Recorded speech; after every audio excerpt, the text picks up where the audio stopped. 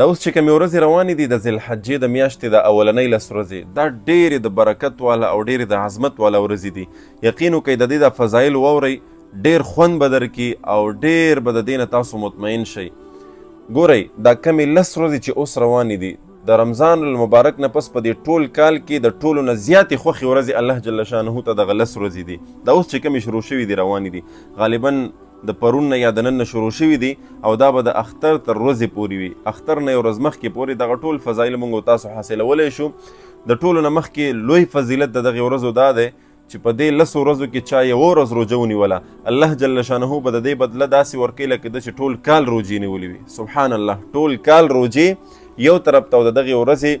روزه دا بل طرف ته او په دغه ورځو کې د دې په شپو کې چې چا عبادت وکړو نو رسول الله صلی الله علیه وسلم فرمایي د دې بدله به الله جل شانه داسې ورکوي لکه د چې د لیلة القدر شپه چې دی دا موندلې وي او د لیلة القدر په شپه باندې دا عبادت کړی وي د لیلة القدر فضایل مونږ بیان کړي په رمضان مبارک کې لیلة القدر خیر من الف شهر د زرو